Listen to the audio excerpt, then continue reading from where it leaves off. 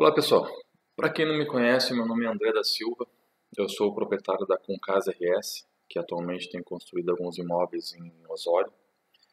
uh, de médio e alto padrão, e resolvi no final do ano passado lançar um empreendimento na cidade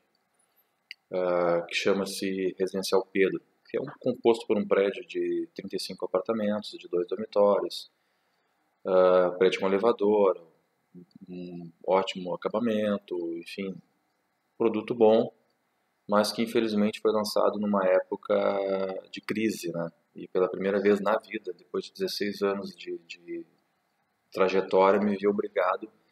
a pensar em marketing, coisas que eu nunca tinha investido nem um centavo, porque sempre vendia no boca a boca, os clientes, graças a Deus, sempre satisfeitos, acabam indicando para um amigo, um colega, um vizinho, e esse acaba vindo comprar mas eis que eu pulo de 15 unidades ano para 35, 40 unidades ano e tive que correr atrás de cliente justamente num ano de crise. E, sem saber o que fazer, sem saber por onde começar, observei, por acaso, nas redes sociais, uma imobiliária de Osório, que na realidade é a Imob, do João Aliardi,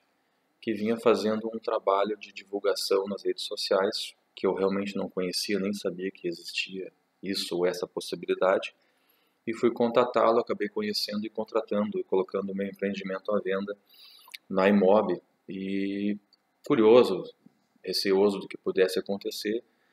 e coloquei a necessidade que eu tinha de vender um número X de unidades num curto espaço de tempo e ele resolveu investir, pegou, comprou a ideia do meu empreendimento, comprou, gostou do produto, veio a conhecê-lo a fundo e viu que era um produto de potencial e resolveu investir da forma que ele estava acostumado, que seria o e-mail, e-mail marketing e, e divulgação em redes sociais, Facebook, Twitter, Instagram, esse tipo de coisa,